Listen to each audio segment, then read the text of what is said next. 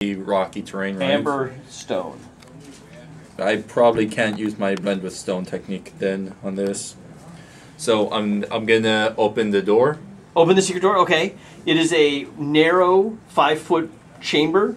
Basically, it's ten feet wide, five foot, and there's an arrow slit facing out onto the chamber floor on that wall. So facing in here, there's so an I arrow can slit in the wall. So while I'm moving in, I can see my teammates yeah, cowering di- here. diving behind things for cover. Um, but there's no other exits or anything inside that little area. Has he jumped down the balcony? no, she's standing No. at the top. Okay, I'm, I I'm standing in the doorway so that, that that thing can't see me. and I get your attention about this little hidden doorway. Oh, uh, so you're in here, right? Yeah, Okay. I found a secret passage, and we let's go do what assassins do best. Do I need to go stealth? What?